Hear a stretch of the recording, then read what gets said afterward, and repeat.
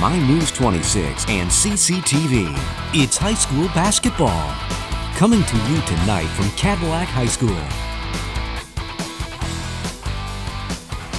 And welcome back to Cadillac High School. 48 29, your final as the Cadillac Vikings defeat the Gaylord Blue Devils in boys Big North basketball action. Jay Simon and Kevin Gregory with you.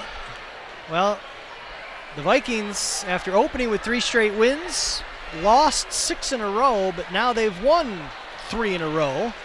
And this one, a repeat over the Blue Devils, and uh, in pretty impressive fashion as they led this one from the beginning, overcame a mini Blue Devil run early in the third quarter, and uh, just really were never in danger in this one. Yeah, they got off to that quick start. I think it was 11 to 2, 11 to 4, something like that in the first quarter, and uh, kind of just controlled the tempo the whole the whole game. I just was really impressed with again the defensive effort and all around just just uh, aggressiveness that they showed on both ends of the floor.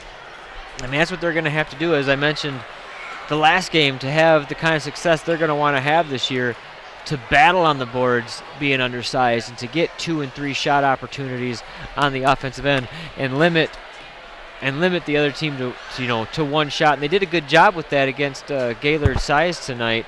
Really didn't allow them to to beat them up on the on the interior. Just a real good game from an intensity standpoint for these Vikings. We know they've got talent. They've got a number of sophomores around the varsity last year that kids that can get to the rack that can shoot when they're open. One of the things we talked about last year with Quinn Crago was the offense.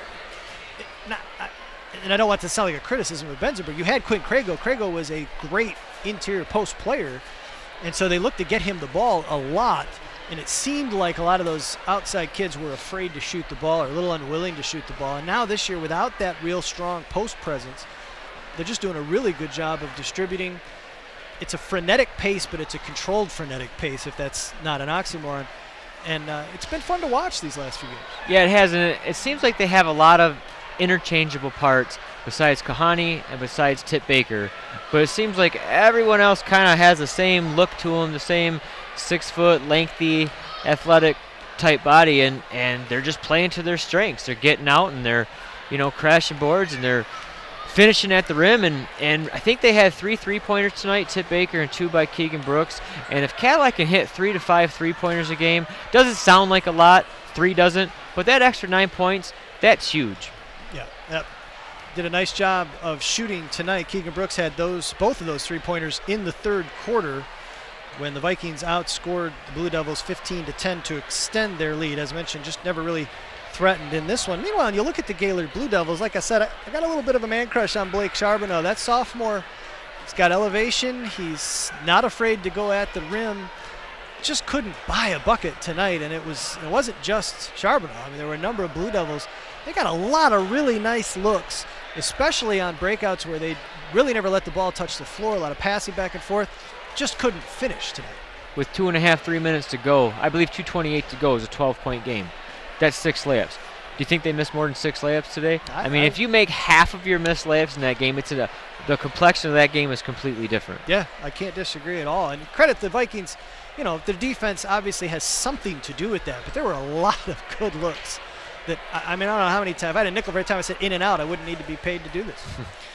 for the Blue Devils, they were led by Drew Neff, who finishes with six points, and they got nine players into the books tonight as Cade Coonrod finishes with five, Nick Rowley with four, Jordan Gopinski finishes with three, hit a three-pointer in that fourth quarter, Jared Landry with three, and then Justin Grish, Blake Charbonneau, and Charlie May all with two points apiece. Charlie May, we didn't mention his name in the second half. I know he got into a little foul trouble, but I don't know if uh, there was an injury situation there or what that might have been. We didn't see him much in that second half. The real problem for the Blue Devils as well, 4 of 15 from the line on the night. So they struggled from the charity stripe. Yeah, when you start talking about the layups that we've mentioned all game longs, and uh, and you start talking about 4 for 15 from the free throw line, that's a, that's a big deal. A lot of missed opportunities left out there for you. Got to hit the easy ones. Meanwhile, for the Vikings, Keegan Brooks leads the way with 14 points. Clayton McCarthy finishes with 12. That might be the quietest 12 points you'll ever see as he got, I'm betting all six of those buckets on putbacks underneath the basket. Cooper Benson finishes with eight. He had all eight in that first quarter. Flurry at eight of their first 10 or 11 points and then didn't score again, but a nice job of taking care of the basketball. Because you were talking about his shoes too much, you took the power away from him. You got to let it sit. You can't. you can't call it out. That could be. It could be. Tip Baker finishes with seven, including that three. Jacob Kahani, Vinny Genema, and Tanner Cochran all finishing with a bucket apiece. Kale Mickelson goes one of two from the line to finish with a point. The Vikings just five of 13 from the line. I forget. Uh, I think it was the the was it the girls game Cadillac Petoskey or the boys game Cadillac Petoskey. We were so impressed with their free throw shooting. I want to say it was the boys Cadillac Petoskey. I don't remember. We were so impressed with their free throw shooting. Tonight, not quite the same. Nine of 34 from the line Oof. combined by these two teams. Might be some extra free throw Yeah. shooting going on at practice tomorrow. But uh, a well played game, a hard fought game. And uh, as mentioned, the Vikings move to six and six on the season. The Blue Devils fall to two and eight. And uh, for Cadillac, they will take on Kalkaska here at home. And then on February 3rd, they will welcome Alpena before going on the road to TC Central on February 9th. Meanwhile, the Blue Devils host Alpena on January 30th. They're at Charlevoix on February 1st, first in non conference action before hosting Petoskey on February 3rd. So, as we mentioned last time, the Big North really kind of wide open. Petoskey was unbeaten. I'm not sure if they still are when uh, when they were before. Well, no, it was Cadillac play Petoskey. Did we have them on this broadcast? Yeah. Yeah, yeah, yeah, we had Cadillac that beat already. Petoskey, Yep, Yeah, so, mhm, yep. so obviously they're not unbeaten anymore. Right. Cadillac no more than a game behind the uh, uh, the Northmen. So the Big North is getting tight. All that to Yeah. say, the Big North is getting tight, and this is a big win at home, protecting home court for the Vikings. Definitely got to protect home court. And you know, you mentioned Alpena, and you said you got to welcome Alpena. You always welcome Alpena because if you don't welcome them here at home, that means you got to drive three and a half hours east to go play them there. I mean, just some travel involved in the Big North. So when you can get a chance to play a Friday night game at home and handle your business, that's good moving forward. Nothing worse than a three-hour bus drive to play basketball game. My goodness gracious. Hey, I want to thanks again to Munson Healthcare Cadillac Rehab Services for their support of tonight's broadcast here on 26 Sports and CCTV.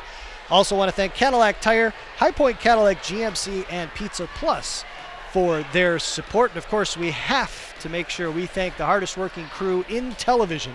Benjamin Ari was on camera one all night. Sean Strachan down on the floor on camera three. Kaylee Buck on camera two.